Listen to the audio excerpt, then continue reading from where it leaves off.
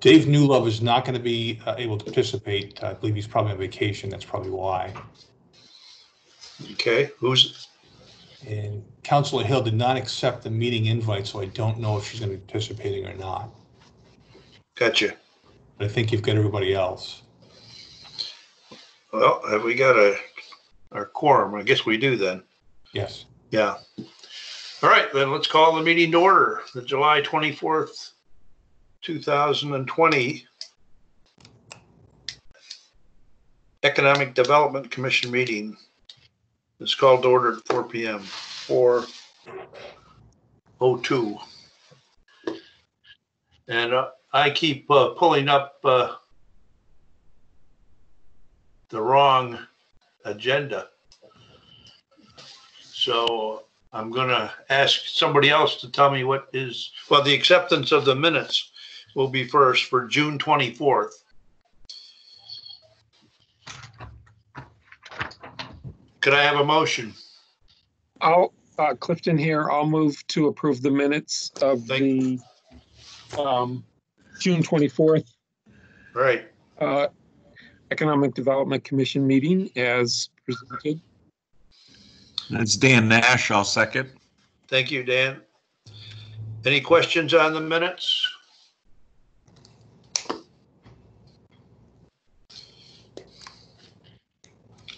Okay, hearing none, we'll vote. Have you all got uh, some way of uh, seeing where to go with Andy Key first and across the bottom? What I, what I would do, Mr. Chairman, if I, I would suggest to you is just allow me to call the roll, which would save you a little bit of time and then they can. Thank say- you, would you do that? Yes, uh, before I do that though, can I, I need to make that obligatory statement with, with all of these virtual meetings, if I could just do that before we take the vote. You can indeed. Uh, this meeting is being conducted in accordance with the provisions of RSA 91A and emergency order number 12 issued by the governor of the state of New Hampshire. It's being conducted virtually due to the COVID-19 pandemic. It is not practical for the commission to meet in person or to allow the general public to meet with the commission due to the potential of spread of, uh, of the virus. So therefore, it is being conducted virtually by Microsoft Teams link, or uh, members of the public may also participate by phone by using the phone with the PIN number that's provided. If you're participating by phone, if you dial, dial star six, that will allow you to uh, speak, and when you're recognized by the chairperson, you may do so. Um, So now to the roll, and I will call the roll, and if you would answer yes or no if you're in favor of the motion. Um, Andy Key, Yes. okay, Chip Brown, Yes. uh, Assistant Mayor Below, Yes, uh, Dan Nash, Yes. uh, Kevin Purcell, Yes. uh, Chairman Steve Whitman, Yes, and uh, Vice Chairman William Dunn. Yes. Okay, uh, motion passes, Mr. Chairman. thank you. And uh, what is our first discussion? It's the discussion, discussion of the strategy for the West Lebanon and redevelopment, and I wanted Dave, uh, Dave, he's- who's on here with us, to get into some detail with that. And just for the record, we have two absences, Dave Newlove um, and uh, Tracy, both, I believe, are on vacation and not available to participate in today's meeting. So Dave? Uh, yes. So, coming out of the West Lebanon Visioning Charrette study, there was uh, uh, an implementation strategies matrix included in that report. Um, we've talked. I've talked with the with with Sean um, and Paula Maville about how best to prioritize those strategies and, and key actions. Um, and there's a couple of different couple of different things in the in the works now. Um, for one, I have a proposal for a uh, a streetscape study to be done um, for for all of Main Street, so that we can get a comprehensive uh, design that we would like to design to and and build to, and then at that point, once we have a consistent design, uh, throughout the corridor, we can begin to chip away and, and figure out how best to implement it. Uh, but until we have a consistent design, it's hard to know. Um, it's you, you can't just ask a, a new applicant to stick a street tree in front of their building because it, it, it affects everything else from sidewalk to on-street parking and everything else. So that process, I have a scope um, from the, from the uh, consultant. I need to review that with him and then get sort of firm it up and, and get a scope and a, and a proposed fee to go with that. My expectation is that that money, um, money for that study could come from this year's budget. Uh, so it would not impact any of the capital funds that have already been appropriated for West Lebanon. Um, those, those capital funds could be used towards implementation going forward. Uh, in addition, so that's, that's one piece.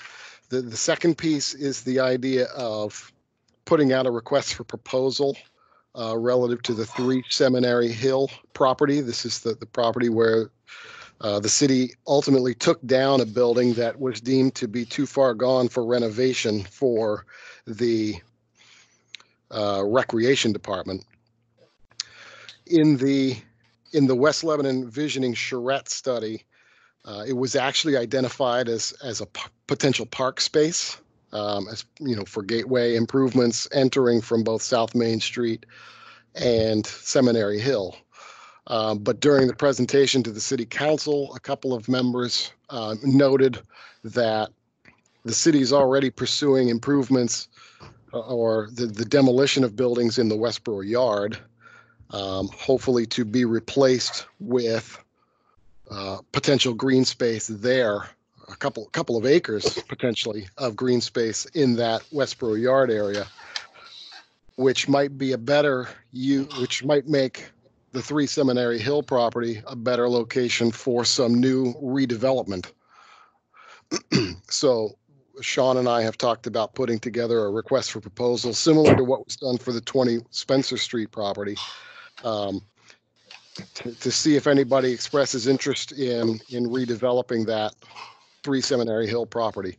Uh, it would need to coordinate with the improvements on South Main Street for the, the dry bridge and approaches to the intersection there. Uh, it may also be appropriate as we, as we move forward to think about some deed restrictions for, for things we'd like to see or not see on that property, but those, that's a little bit farther down the line um, in terms of fleshing out the, the RFP. The third piece that's, that's, that Sean and I have talked about is putting together uh, a subcommittee or, or some kind of study committee that can help guide this going forward with with more public involvement. Uh, and I think that's what we'll we'll turn back to with the discussion that we're having here today. Um, just two other things, uh, and I'll let Sean, I'll let Sean give a, the update on Westboro Yard because he's been uh, more directly involved in those communications with DOT. Um, but the other piece, Sean and I met with Recreation uh, and Public Works to look at the the property that the city already owns just south of Bridge Street, opposite State Line Sports. This is was identified as a potential car top boat launch um, facility several years ago. It never got fully built out. So we, uh, maybe a couple of months ago, we met at the site to, to walk the site, see what's there, see what some of the potential possibilities are.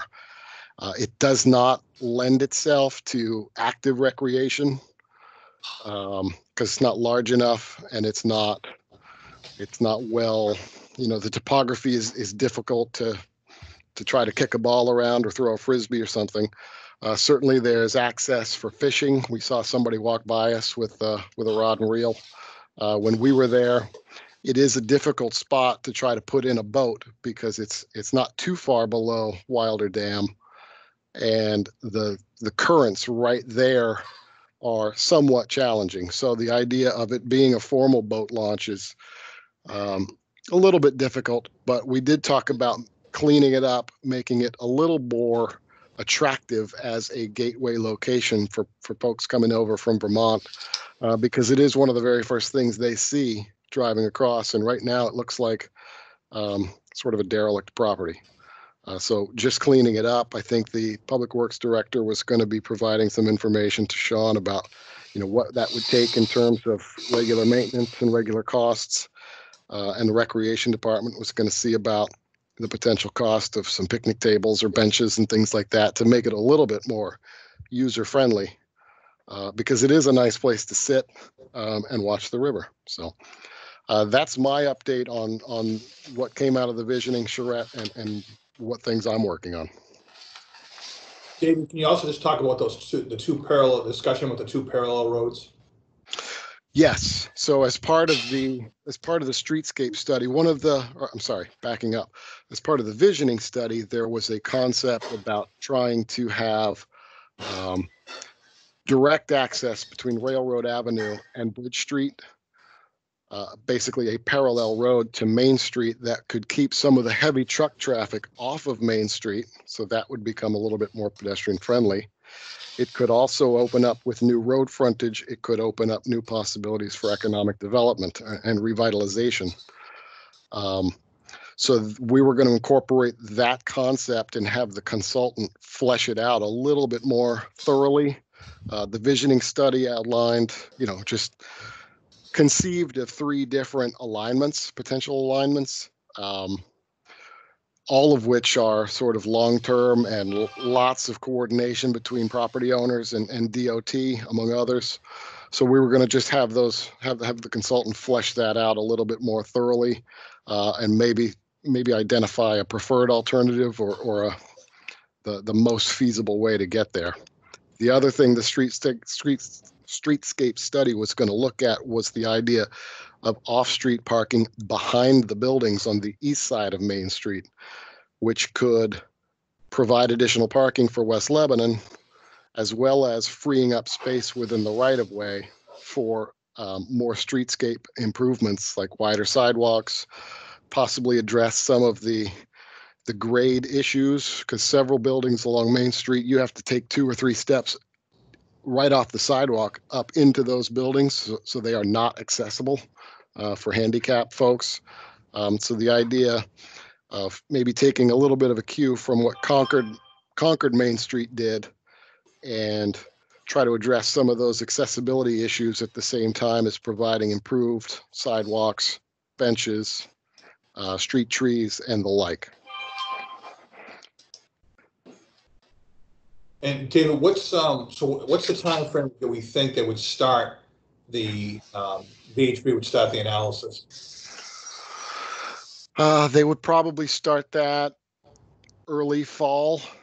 Um, I don't yet have a have a sense of the timeline, whether that's a, a three month project that's that's done before the end of the year, or whether it's six plus that that carries over into 2020 or uh, 2021 rather.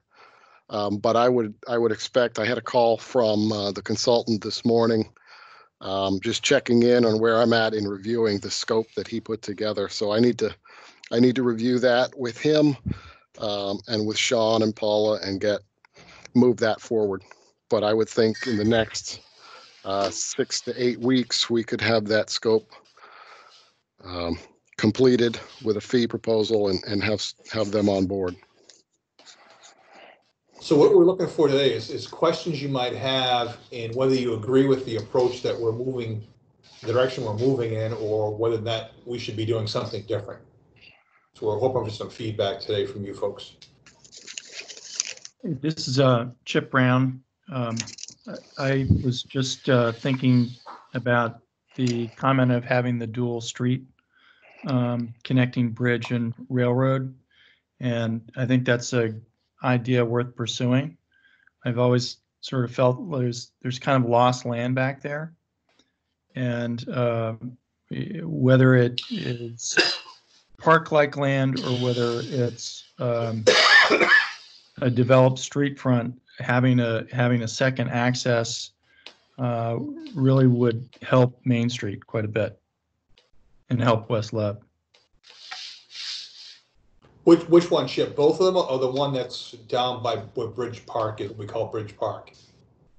I guess the one down by Bridge Park, the idea of adding or, or sort of connecting, creating a new road between Bridge and Railroad? Yeah, Yeah. Okay. And I, I just am voicing my support for that. I think that's, makes a lot of sense on a lot of levels. It depends on you know, uh, how it would be thought through and designed, but I think it, it would um, help the downtown, Old West Leb downtown. Um, This is Dan Nash. I'd like to add something. Go ahead, Dan. I, I think that the, um, the ideas presented make a good framework for the redevelopment. But obviously the redevelopment's also going to involve private property. And, uh, one of the concerns I have is the regulations. I ran in, ran against this on a project in downtown Lebanon and Bank Street. Uh, with the conflict between the zoning ordinance and the site plan regs when you have a downtown area like we do in Lebanon and West Lebanon, the central business district, um, the zoning ordinance allows for essentially 100% coverage of the lots.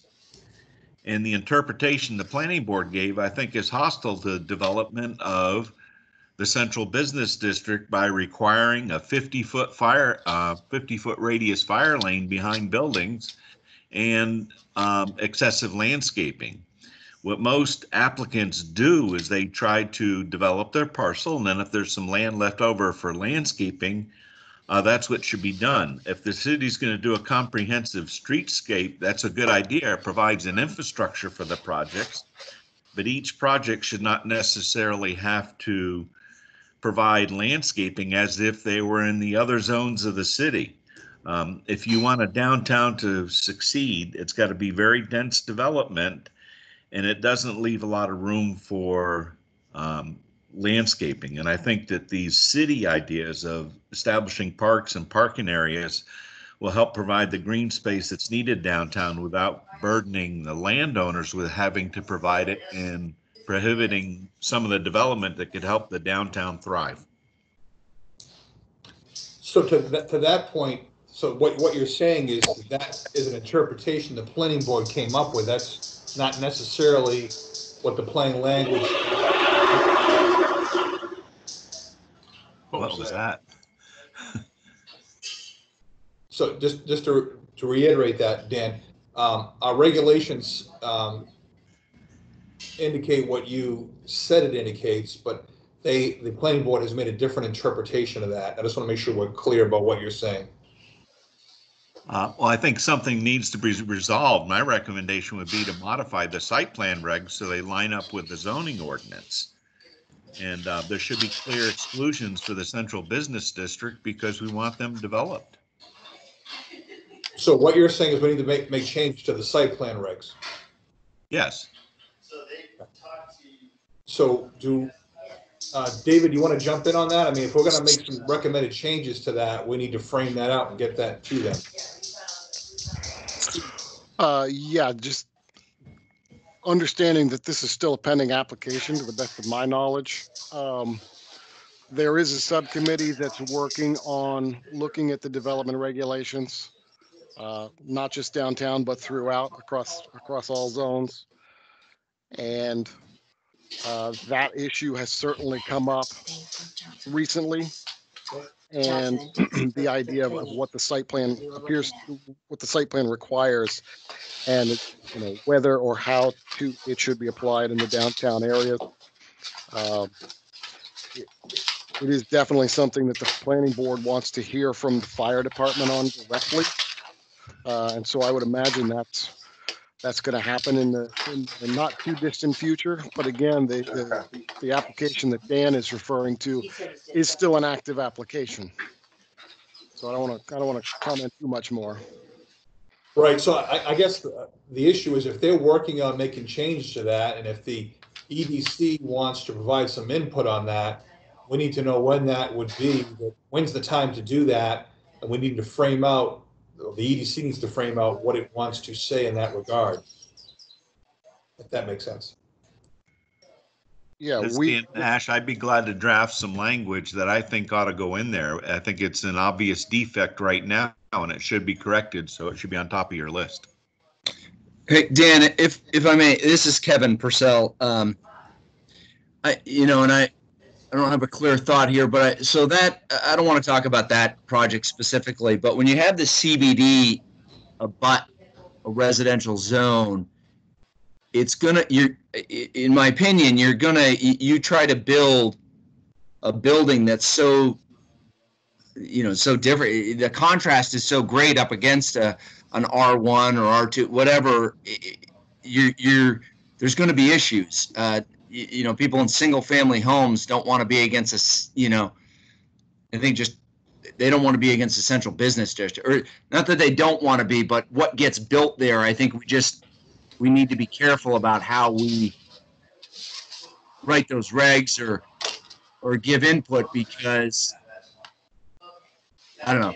I, I want to be careful what I say here, but you, you- you understand what I'm saying, Dan? Like the the your your your residential zone and your CBD specifically in that situation, you know, obviously there was some serious friction there.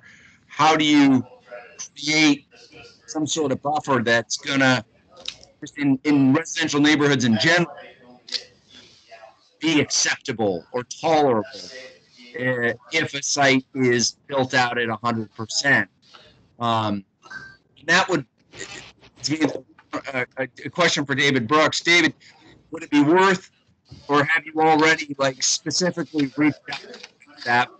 Or, Well, I, I think we, I think we have already contemplated the exact situation that's happening in the, the new Lebanon downtown district that was created and approved by the council back in January anticipates exactly this situation where when a, an LD zoned property is up against a, a residential zone or something that's not LD, Yep. then additional uh, yard setbacks and height requirements are triggered so that you don't have, uh, you know, a, a solid wall right on the property line up against the residential zone. okay. But the application that was submitted on Bank Street was submitted before that new zoning district took effect. And so therefore it's subject to the old central business district regulations, which are, I say old central business because they don't apply in downtown anymore. They do still apply in West Lebanon. And it is something we should address for West Lebanon for the, for exactly the same reason. Yeah. Okay, let's, uh, let's, uh, understand that we've talked that over and continue on with our other subjects, uh, down there. I, I, I think we gotta, Steve, Steve, one second. This is Kevin again. But so, David, would it be worth? I just feel like the Crafts Avenue, that whole neighborhood. I mean, they are a very tight neighborhood. I know people in that neighborhood. Would it be worth reaching out to them about this and uh, getting them involved so there isn't future issues? So they're they're part of the process. Uh, If, you know, we, we certainly can and will address and communicate with the surrounding properties. Um, The, the West Lebanon community specifically did not want new regulations applied to them that came out of the downtown visioning study until they'd had an opportunity to have their West Lebanon vision, uh, village Sure. study. Sure. And so now that we've had that visioning study, now we can propose some of the concepts. It, they may end up being the same in a lot of cases, uh, but yes, we absolutely can and should um, take a close look at the regulations for that apply to West Lebanon. Do the same sorts of things: the design, the dimensional standards, uh, the uses. Are, is it? Are we allowing the things we want to see happen? Yeah, yeah, my point being is just Wait include, a minute, like, Kevin. include in the conversation so we're not surprised when they all show up, if something's proposed. I think we've covered this. Let's move on. Yeah. All right, so um, back to the, the, the specific planning pieces. So uh, David's talked about his plan um, in terms of um, the, the study that we're going to be uh, em- embarking on. Um, I presume nobody has any disagreement with us creating the, um, the committee that will review the process, and that will be predominantly people from, who live in that area, West Lebanon area, um, to sort of help shepherd this process through and provide some advice on that, if that makes sense to everybody.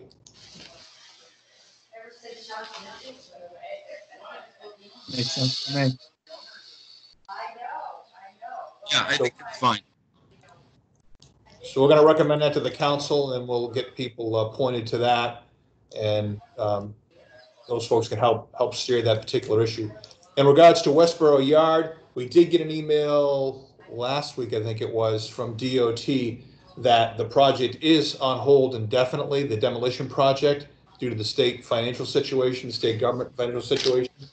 Although the governor has said that he is optimistic that the stimulus bill that is before um, Congress, uh, that being the Senate in particular, in some form or fashion will get approved and there will be some monies for states and municipalities which will, would help assist the state in its revenue shortfall.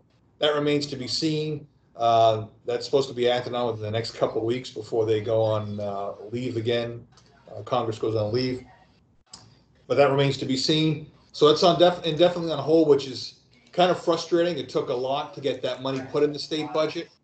And if this, we don't get authorization to, uh, uh, DOT doesn't get authorization to expend those monies before the end of the, uh, the two-year budget, my concern is we're gonna, obviously, we're gonna have to start all over again and, and get that money appropriated in, in the next budget, to be able to get this done after the work we put in to get it where it is, which is very frustrating, but that is simply the fact that's before us. So we don't know so right now, everything is on hold, and we don't know when or even if, for sure, we will have the funds to knock that building down, even though it was appropriated in the state budget.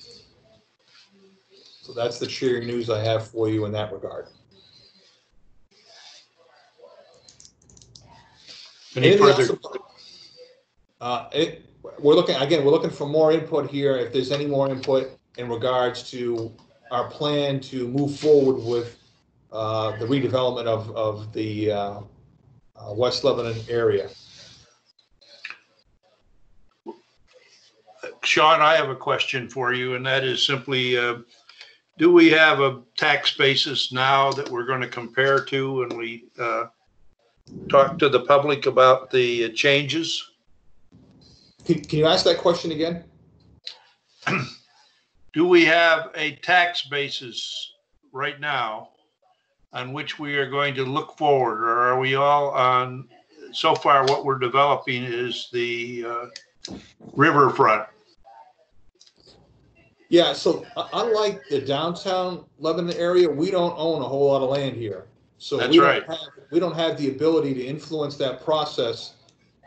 You know, other than the street improvements, potentially these parallel roads and the path to the Westboro Yard. So assuming we get the Westboro Yard, that's obviously, if that, if the demolition occurs, if they turn the property over to us as we've asked them to do, there's the potential to create some green space and some public space there and that trail network. The only piece that we actually control is that three Seminary Hill Road, which is pretty small. So whatever goes in there will have some impact, but it'll be limited in the overall picture. The, trying to convince the private sector to do certain things is gonna be a bit more challenging, especially with the limited tools that municipalities have uh, in this state to be able to uh, provide, shall we say, incentives for the private sector to do things on private property. Uh, so I, um, I'm not sure what else we can really do there, unlike the downtown Lebanon area where we do have public space that can be turned into private space and partnerships could be developed there. So we're, we're in a different spot. What I envision, what I envision is a two-step process, one of which is, step one, we have been, uh, we are the ownership of the riverbank, I believe. Uh, and we can do trails from, uh, north of the Route Four to the south, all the way down to the, uh, the plant down there, the water plant. Um, and then step two is we gotta clean up, or they've gotta clean up all of the material and turn it over to us. Um, is that a simple outlook of what is uh, ahead of us? Well, that, that, I guess, is a good summary of the picture, because we don't own anything right now in terms of that riverfront, other than the area, the immediate area of Bridge Park, that's the only property the city owns. You know, we would, if, if we get as, if it goes as we have asked it, we will have control over the riverfront in front of, um, Westboro Yard. Yes, If that goes as planned, yes, you know, we, our plan would be to lease that from the, the state for a dollar for a year for, for what, forever, or twenty years. I see. whatever it might be. But we don't have that, of course, yet, because we, we have stated that we want the state to demolish those buildings before we lease it and, and take over that part of it. And they have to continue to own the environmental issues that exist on the site. That's why we don't want to actually own the property. right. Thank you. Other questions? Just, I was gonna, this is David Brooks, um, just to chime in, there is also a sewer easement uh, that Right. runs from the Bridge Park past uh, the Westboro Yard area all the way down to the treatment plant, as you mentioned. Right now, I believe that is exclusively for the sewer and maintenance and upkeep of it. It's not, it's not an easement that allows public access. Uh, but that is another possibility that could be investigated at some point um, to try to connect from Bridge Park over to the Westboro Yard area as a start, uh, and then see if we can go beyond that in the future. Right, because the strategy might be to develop that walkway and then allow that to bring the public into the whole concept. uh, And be more willing to finance an upgrade to the entire area. It's a strategy. At any rate, So the only Okay. other piece of that is uh, Barry Schuster has started the process for uh, getting the railroad to agree to discontinue the railroad that goes from Riverside Park to where the present Mascoma Greenway ends. So he just started that literally this week, that new initiative. He's going to do that gratis for us, which is really nice. Uh, But he just started that process, and that's going to go on for a while. Um, so that, that at least is, is moving now, and is now moving forward, and we have, hadn't done anything on that. So that'll help make that connection to at least, uh, the, the Route twelve A area, right, we get that taken care of. So we're moving on that. That's a key connection piece. Okay, I, again, I don't have an agenda, so I'm not sure where we're at. Next thing is discuss strategy of UVBA, GRDC, and C11 marketing and exchange program. We are not optimistic we're going to get the grant that we had applied for. Um, It's in the works, but we're just not optimistic we're going to get it. Well, that remains to be seen, and, you know, Tracy's on vacation, and that was the update she provided, so I don't think there's really much else to say about that. If we don't get it, we'll have to circle the wagons and decide what we're gonna do next in terms of that marketing piece and that exchange program. How much was it for? Uh, I don't know because I didn't actually apply for it. Okay, GRDC did, and I, I haven't seen the final product. They had to get it in short notice, so I actually haven't seen it. okay, And the next item is discuss impacts of COVID-19 on the local economy and, and recovery strategies. So, uh, I, I think I told you the last time, the governor did approve us to allow us to enter into payment, uh, plans with businesses and individuals. We have, uh, worked with UVBA, to send out notices, they've sent it out in their blast, we've done it over our website. And we do have a couple of businesses that did apply for it, but not many, I think two or three, and that was it. And no residents. And right now, we have ninety-nine percent of our property taxes for the first half bill have been collected. So there really aren't too many people out there that haven't paid their, their taxes, which is higher than the previous year, strangely enough. Um, But we do have a couple, and those will be going before the Board of Assessors uh, next week. I think it's next Wednesday for approval. Uh, For one percent, instead of the, instead of the normal eight percent uh, interest rate on their taxes, it'll be one percent that tax payment plan as long as they make the payments uh, on a schedule uh, between now and April 30th of 2021. So at least it provides some relief for those businesses that um, are hurting and apparently nobody else at least doesn't need it now. They may be more interested in the second half tax bill goes out and it'll still be available to those people at that time. Uh, But we didn't, uh, you know, we were expecting we would have quite a few more and we haven't had that many. So I guess maybe that's a good thing. Um, and then maybe some uh, did not receive the memo on it. You know, they don't know that it exists out there. That's a possibility as well. Um, But again, ninety-nine percent of uh, the taxpayers have already paid the first half tax bill. Good news. Um, th- There continues to be more information in regards to our shopping centers on 12A. There are other parties that are interested. And we know we have a couple that are going out of business, but um, we have at least some reliable information that there are other parties that want to take over those spaces, or at least one of them. So that's good news. I don't want to get into details of that because it's not public information yet. When it is, we'll be glad to put that out. Um, Over in one, one B, the airport tech park that we're looking to uh, develop, we already have one group of business partners that would like to build in there, have expressed interest, and are waiting to see if the council finally approves the project to move further on that. Uh, and their activities related to, um, to airport activity. But we're still working on the cost benefit analysis with that. One of the issues that has come up there, it's gonna be over a million dollars just to put underground electric conduit in there. That's like fifty percent of the cost of the whole project, and whether that tips the scale to make it not cost benefit, uh, doesn't meet the cost benefit analysis is something that David's working on. And one of the things that I've talked about with staff, the city needs to think about whether or not that policy makes a whole lot of sense. We have these new developments that have this very expensive underground utility network that's put in with the, I, I guess the concept is that it makes them more resistant to disasters, uh, storms, but the reality of it is ninety percent of the electrical system is above ground and it's never gonna be put below ground. So I'm not sure that makes a whole lot of sense to do that and to force businesses to pay that cost or residential developments. That all that adds to the, the cost of, uh, uh, of housing and it makes it more difficult for businesses to move here because it's more expensive to do so. So the long term, I think that that's something that needs to be thought about, whether that continues to be something that makes sense, good business sense. Because our housing costs are very expensive here as they are throughout the country. And again, does it make sense to add something like that that seems to have more of an aesthetic uh, uh, value than it has a practical value in terms of reducing the impact due to natural disasters? Yeah, uh, Cl- Clifton here, I was wondering about that too, and particularly um, in that location, uh, in- you know, in sort of a industrial type park, does it really matter if those utilities are underground?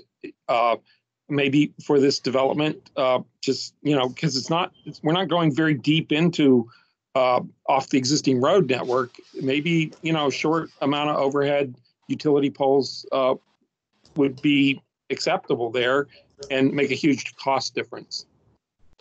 Yeah, because I, I think that may tip it over the scales to make it not cost effective. I mean, we're, we're basically doubling the price of the project just to put underground utilities in. But I I think it's something we need to think about in the, in the larger city issue.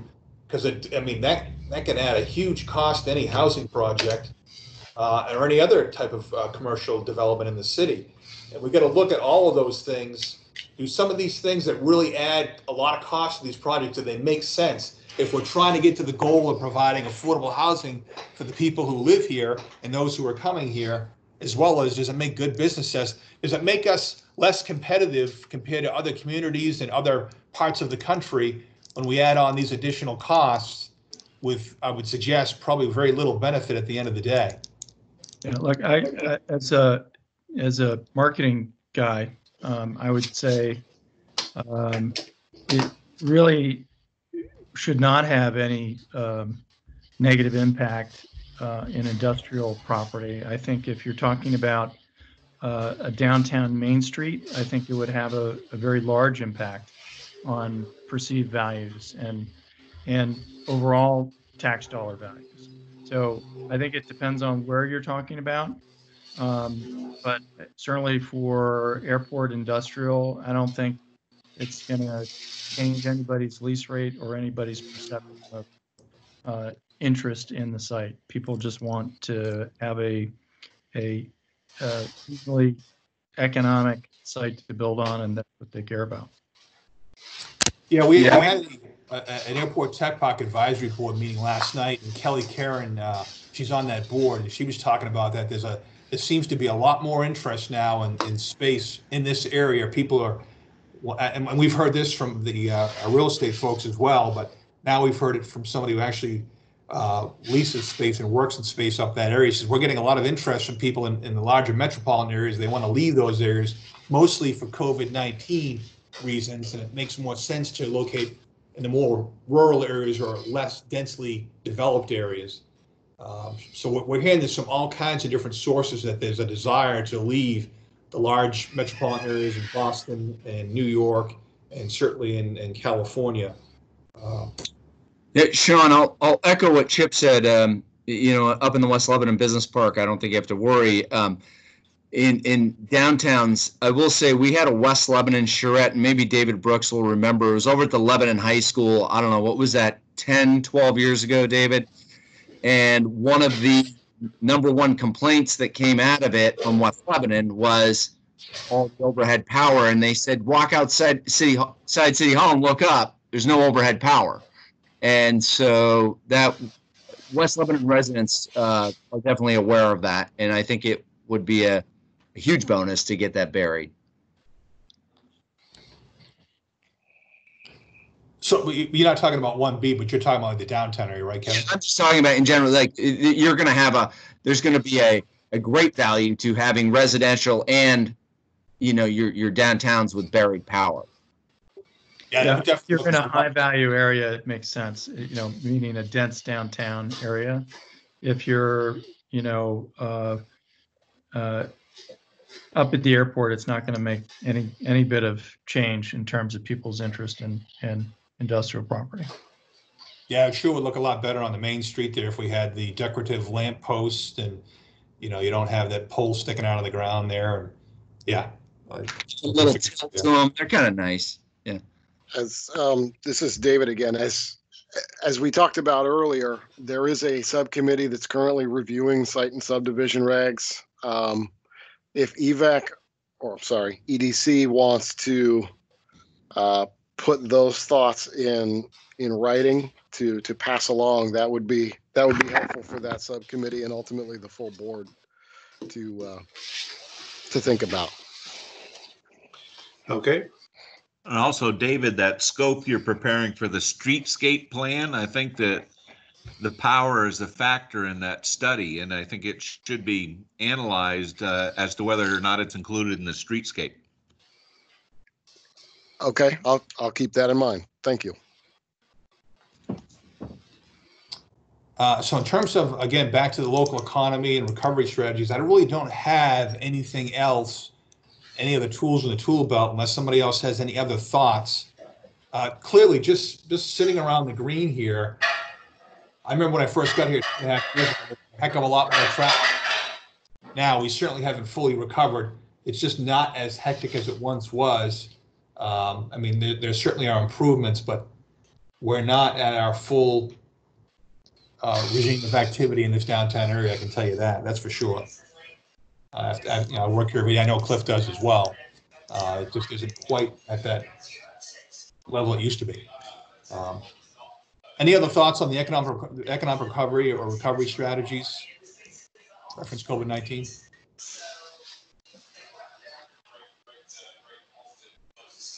Because I, I don't have any other plans or any other tools that I think I can use to influence the process at this particular point. I do remember one of the things on the agenda was something about the, uh, how we were going to implement the uh, E, uh, EDC versus EVEC. So maybe it's time to turn to that. Um, I'm not sure I understand what you mean. Okay, I'm doing it from memory. That's the problem. The, uh, uh, there was a, I believe you had something on the agenda? Or was that the wrong agenda I was reading all the time? Well, that was, a- that was transition from EVAC to EDC, which, as far as I'm concerned, we've already done. Great, forget it. That's good. Okay, Um, so I, I, um, I think the next step was, is when we get this, um, some sort of plan in terms of West Leb back to, uh, back to you folks to take a look at. We're gonna have that other committee review it as well. Um, and we're probably gonna want, like we did the last time, if, if the council ultimately chooses to go out and do an RFP uh, for three Seminary Hill Road, we're gonna want some input on how that's, on, on, on the draft of that, and then review the packets. I think that's something we should definitely be doing here, is review the proposals that come in for that. That was very helpful, I think, the last time we did that with 20 Spencer Street. I think we'd like to do that again. And at some point here, we're gonna have some updates for you on 20 Spencer Street as well to uh, look at. And you have, what else do you want for future agenda items other than that? If we're, if we're gonna have some written comment to um, the planning board, someone needs to kind of draft those out, and it would be nice to review those and either approve those or not approve those to go to the planning board maybe at the next meeting.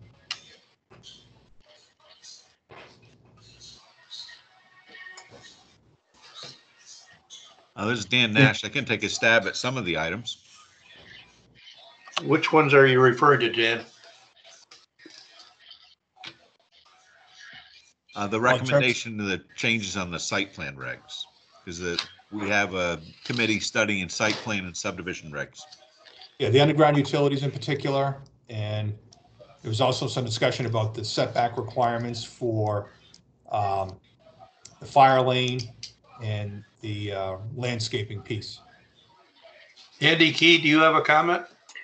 Uh, no, I, I was just, um, kind of th- wondering if, is it, is, are we able to maybe get a, uh, like a draft of what they come up with? So that then we can kind of, you know, see what they're proposing as well as, instead of just us coming up with our own changes and we don't even know what they've done?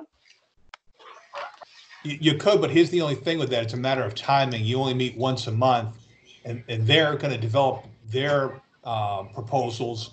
And if they have input from us as to how, what we think they should, they should include, that will help them get to where they need to go. Okay, I got you. That, yeah, and I think then that makes sense. So I'll put that down as a next agenda item is that we'll discuss um, a draft of what we might be proposing to the planning board. And that will probably take some, quite a bit of discussion to get through that, Right. okay? Anything else for future agenda items?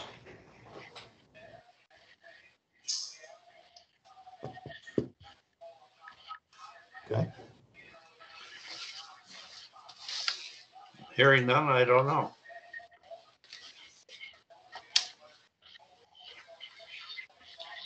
Okay.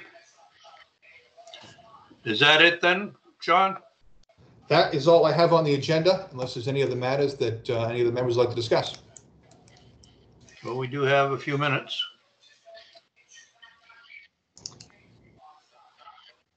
If there aren't any, I'll move to adjourn. Okay. Thank you, Cliff. This is Dan Nash. I'll second. All in favor? Uh, well, you want me to call? the gotta, roll? gotta do a Do you want me to, you want me to call the roll? Mr. Yes, Chairman? please. Okay, Andy Key, Uh, in favor of adjourning. okay, Chip Brown, In favor? uh, Assistant Mayor Below, Yes. Dan Nash, Yes. Kevin Purcell, Yes.